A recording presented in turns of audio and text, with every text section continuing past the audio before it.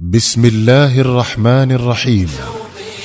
شوقي للقياهم يزيد ولحبهم هتف القصر يا جيل أتباع الهدى أشرق علينا من جديد شوقي يسر جمعية مودة أن تقدم لكم صورا من حياة الصحابة لعبد الرحمن رأفت الباشا. رحمه الله. سهيل بن عمرو رضي الله عنه. هم قادة الدنيا فمن قادوا ولا عرفوا المحيط. هم أسوة الإنسان في الأقوال والفعل السديد. لا ليس نرضى ينادوا من قريب أو بعيد. سهيل بن عمرو سيد من سادات قريش المرموقين وخطيب من خطباء العرب المفوهين وواحد من أهل الحل والعقد الذين لا يقطع دونهم أمر. كان سهيل حين صدع الرسول الكريم صلى الله عليه وسلم بدعوة الحق. قد اكتمل واكتهل. وقد كان جديرا بعقله الراجح ونظره الثاقب أن يجعلاه أول من يستجيب لدعوة نبي الهدى والرحمة. ولكن سهيلا لم يعرض عن الإسلام فحسب. وإنما طفق يصد الناس عن سبيل الله بكل وسيلة ويصب على السابقين إلى الإسلام سوط عذابه ليفتنهم عن دينهم ويردهم إلى الشرك. لكن سهيل بن عمرو ما لبث أن فوجئ بخبر وقع عليه وقع الصاعقة وذلك حين نمي إليه أن ابنه عبد الله وابنته أم كلثوم قد تبعا محمدا. وفرا بدينهما إلى أرض الحبشة تخلصا من أذاه وأذى قريش. ثم شاء الله أن تصل الأخبار كاذبة إلى مهاجر الحبشة بأن قريشا قد أسلمت وأن المسلمين باتوا يعيشون بين أهليهم بسلام. فعاد فريق منهم إلى مكة وكان في جملة العائدين عبد الله بن سهيل. لم تكد أقدام عبد الله تطأ أرض مكة حتى أخذه أبوه وكبله بالقيود وألقى به في مكان مظلم من بيته وجعل يفتن في تعذيبه ويلج في إيذائه حتى أظهر الفتى ارتداده عن دين محمد وأعلن رجوعه إلى ملة آبائه وأجداده فسري عن سهيل بن عمرو وقرت عينه وشعر بنشوة النصر على محمد. ثم ما لبث المشركون أن عزموا على منازلة رسول الله صلى الله عليه وسلم في بدر فخرج معهم سهيل بن عمرو مصحوبا بابنه عبد الله متشوقا لأن يرى فتاه يشهر السيف في وجه محمد بعد أن كان إلى عهد قريب واحدا من أتباعه. ولكن الأقدار كانت تخبئ لسهيل ما لم يكن يقع له في حساب. إذ ما كاد يلتقي الجمعان على أرض بدر حتى فر الفتى المسلم المؤمن إلى صفوف المسلمين ووضع نفسه تحت راية رسول الله صلى الله عليه وسلم وامتشق حسامه ليقاتل به أباه ومن معه من أعداء الله. ولما انتهت بدر بذلك النصر المؤزر الذي من الله به على نبيه ووقف الرسول الكريم صلى الله عليه وسلم وصحبه الأخيار يستعرضون أسر المشركين إذا هم يجدون سهيل بن عمرو أسيرا في أيديهم. فلما مثل سهيل بين يدي النبي عليه الصلاة والسلام يريد المفاداة نظر إليه عمر بن الخطاب وقال دعني يا رسول الله أنزع ثنيتيه حتى لا يقوم بعد اليوم خطيبا في محافل مكة ينال من الإسلام ونبيه. فقال عليه الصلاة والسلام دعهما يا عمر فلعلك ترى منهما ما يسرك إن شاء الله. ثم دارت الأيام دورتها وكان صلح الحديبية. فبعثت قريش سهيل بن عمرو لينوب عنها في إبرام الصلح. فتلقاه الرسول عليه الصلاة والسلام ومعه طائفة من صحبه فيهم ابنه عبد الله بن سهيل. ثم دعا النبي عليه الصلاة والسلام علي بن أبي طالب لكتابة العقد وشرع يملي عليه فقال اكتب بسم الله الرحمن الرحيم فقال سهيل نحن لا نعرف هذا ولكن اكتب باسمك اللهم فقال النبي صلى الله عليه وسلم لعلي اكتب باسمك اللهم ثم قال اكتب هذا ما صالح عليه محمد رسول الله. فقال سهيل لو كنا نشهد أنك رسول الله لم نقاتلك ولكن اكتب اسمك واسم أبيك. فقال النبي صلى الله عليه وسلم والله إني لرسول الله وإن كذبتموني. اكتب محمد بن عبد الله ثم أتم العقد. وعاد سهيل بن عمرو مزهوا بما كان يظن أنه حققه من نصر لقومه على محمد. ثم دارت الأيام دورتها كرة أخرى. وإذا بقريش تهزم هزيمتها الساحقة من غير حرب. وإذا رسول الله صلى الله عليه وسلم يدخل مكة فاتحا. وإذا المنادي ينادي يا أهل مكة من دخل بيته فهو آمن.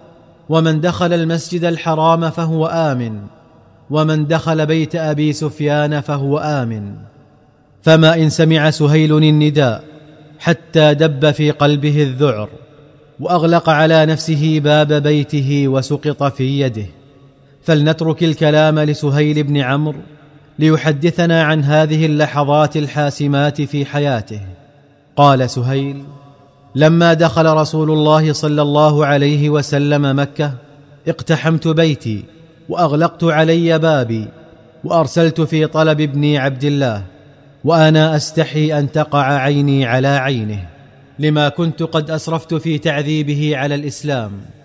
فلما دخل علي قلت له اطلب لي جوارا من محمد فإني لا آمن أن أقتل. فذهب عبد الله إلى النبي صلى الله عليه وسلم وقال أبي أتؤمنه يا رسول الله جعلت فداك؟ قال نعم هو آمن بأمان الله فليظهر. ثم التفت إلى أصحابه وقال من لقي منكم سهيلا فلا يسئ لقاءه فلعمري إن سهيلا له عقل وشرف وما مثل سهيل يجهل الإسلام؟ ولكن قدر فكان. أسلم سهيل بن عمرو بعد ذلك إسلاما ملك عليه قلبه ولبه وأحب الرسول الكريم صلى الله عليه وسلم حبا أحله في السويداء من فؤاده. قال الصديق رضوان الله عليه لقد نظرت إلى سهيل بن عمرو في حجة الوداع قائما بين يدي رسول الله صلى الله عليه وسلم وهو يقدم له البدن. ورسول الله صلى الله عليه وسلم ينحرها بيده الكريمة. ثم دعا النبي صلى الله عليه وسلم الحلاق فحلق رأسه.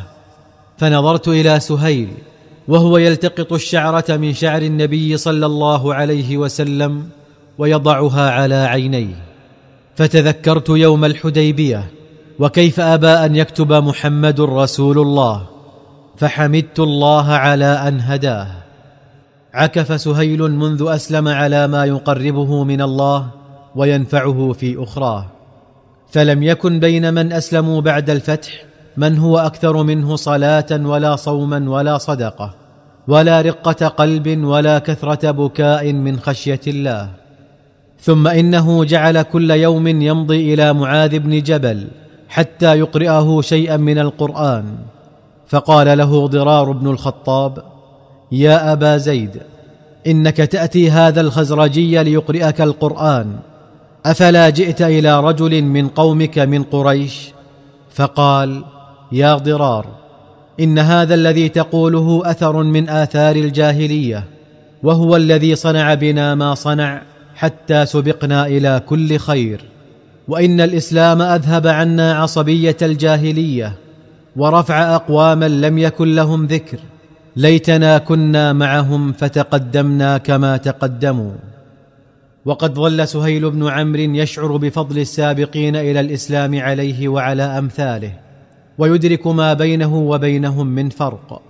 فقد حضر ذات يوم إلى باب عمر بن الخطاب هو والحارث بن هشام وأبو سفيان بن حرب وحضر معهم عمار بن ياسر وصهيب الرومي. ورجال من الموالي من أصحاب السابقة. فخرج آذن عمر وقال ليدخل عمار ليدخل صهيب. فجعل القوم من قريش ينظر بعضهم إلى بعض مغضبين. ثم قال قائلهم لم نر كيومنا هذا قط.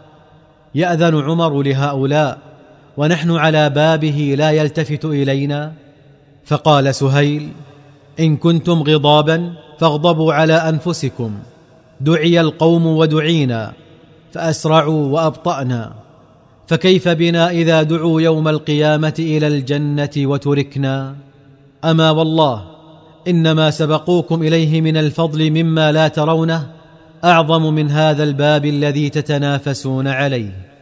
ثم قال إن هؤلاء سبقوكم إلى ما سبقوكم إليه. ولا سبيل لكم والله إلى استدراك ما فات إلا بالجهاد والاستشهاد. ثم نفض ثوبه وقام. كانت رحى الحروب دائرة إذ ذاك على تخوم الشام بين المسلمين والروم. فجمع سهيل بن عمرو أبناءه وأزواجه وحفدته وتوجه بهم إلى بلاد الشام ليرابط معهم في سبيل الله. وقال لمن معه؟ والله لا أدع موقفا وقفته مع المشركين إلا وقفت مع المسلمين مثله ولا نفقة أنفقتها مع المشركين إلا أنفقت مثلها. ووالله لأبقين مرابطا في سبيل الله حتى أقتل شهيدا أو أموت غريبا عن مكة. بر سهيل بن عمرو بقسمه فشهد مع المسلمين اليرموك وأبلى فيها بلاء المؤمنين الصادقين. ثم ما زال ينتقل من معركة إلى أخرى حتى حل بديار الشام طاعون عمواس فمات فيه سهيل وكل من معه من أولاده وذويه. رضي الله عن سهيل بن عمرو وكتبه مع النبيين والشهداء وحسن أولئك رفيقا. من لقي منكم سهيلا فلا يسئ لقاءه. فلعمري إن سهيلا له عقل وشرف وما مثل سهيل يجهل الإسلام. محمد رسول الله. بمحمد وبصحبه قد أسس الصرح المشيد يا شعر أسعفني أفض في مدحهم هل من مزيد. سلة الإيمان والتقوى أولو الأمر.